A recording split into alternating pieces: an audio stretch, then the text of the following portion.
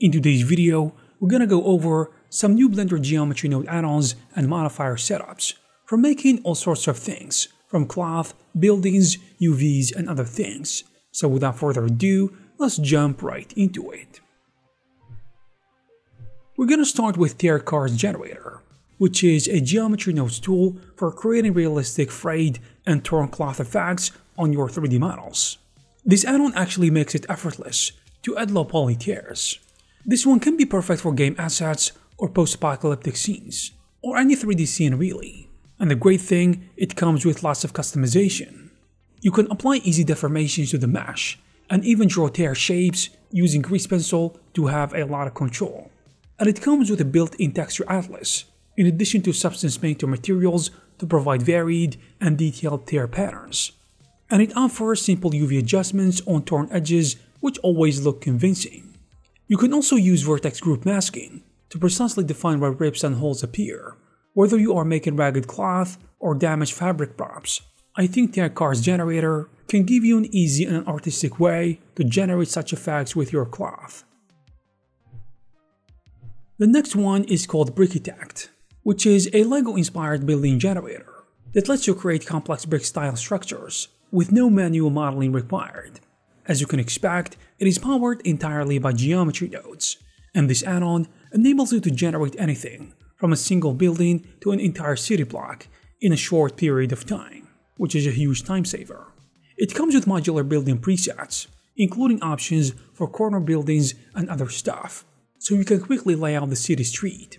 And Brickitect provides numerous customization options. For example, you can change the building shapes and heights, adjust the facade details, play with lighting setups, and add extra decorative elements to give each building a unique character. All of these changes are procedural, meaning you can tweak parameters and see the city update in real time. And if you ever wanted to create urban environments or LEGO style architecture in Blender, this add-on offers a fun and efficient solution to do so.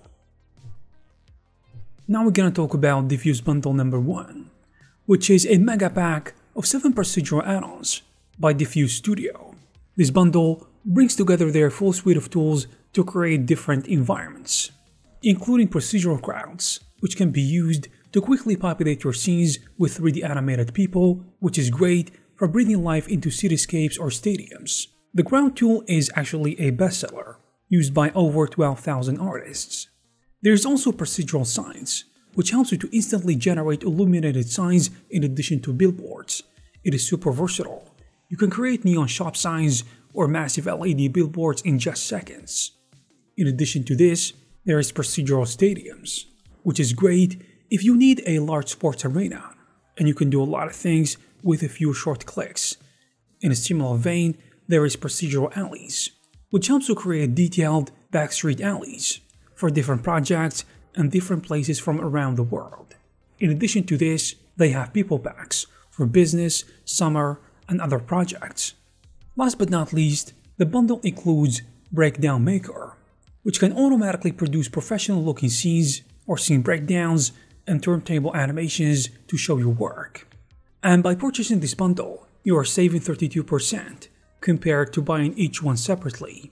And with these tools at your disposal, I think you can create a lot of complex things, because these ready assets and procedural tools can help you do a lot of things. Now we're gonna talk about UV Factory, which is a new UV mapping add-on that automates and streamlines the UV mapping process. If you find UV unwrapping tedious, I think this tool can help you a lot. So it lets you generate UV maps on the fly.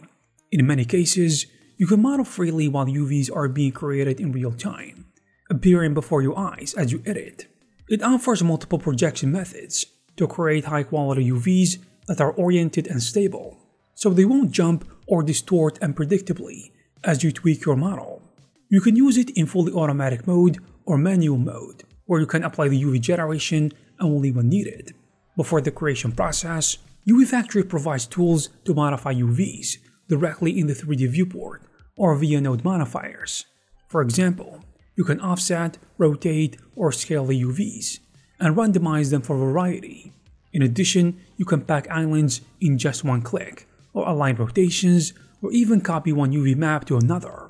For advanced users, The add-on lets you chain together node-based UV operations to build a custom UV pipeline. You can manage multiple UV maps at once, apply different UV settings to different materials or selections, and finally control seams and sharp edges. I think it is great and a lot of people love it. The next one is called KnitGen, which is a unique GeoNode add-on for creating realistic knitted fabrics in Blender. It allows you to generate woven cloth with custom knit patterns, and you can do that easily. You can design great looking fabrics for your projects in a short period of time. But what sets it apart is that it uses Blender's hair curve system, and it does this under the hood to construct the fabric geometry, which means it is very performance friendly and uses minimal memory even for dense patterns. And the good thing, the add-on fully supports animated objects. Your knitted cloth can follow character motion or physics simulations, and the strands will stick together without breaking, giving a believable cloth behavior. For additional realism, KnitGen can automatically add a layer of fuzz on the surface of the cloth, replicating the look of fine fabrics, especially when rendering. It even lets you simulate fabric tearing by painting a white map you can define areas where the cloth will rip apart, allowing for effects like holes or runs in the material. Generally this tool is straightforward and it can help you do different things. Last but not least we have Node Dimensions, which brings CAD style measurement tools to Blender's modeling workflow. So if you need to make precise measurements or technical annotations in your Blender scenes, this tool has you covered using geometry nodes. It lets you add three types of measurement indicators, which are distance, radius, and angle. It is very easy to use.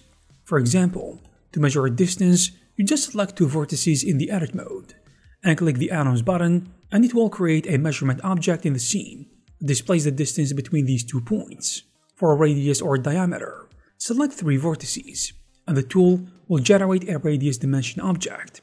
To ensure an angle, you activate the tool, then click three points and it will show the angle between these alignments. And all the created measurement objects are live and procedural. They stick to the chosen mesh vertices and will update in real time if the geometry moves or changes, even during animations.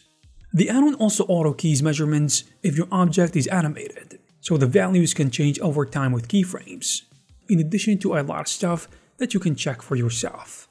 And there you have it guys. If you found the geometry node add-ons and procedural generators useful, you will find all the necessary links in the description. So if you like this video, please give it a thumbs up and subscribe to this channel to receive more videos like this. Thank you guys very much for watching, and I will see you in the next one.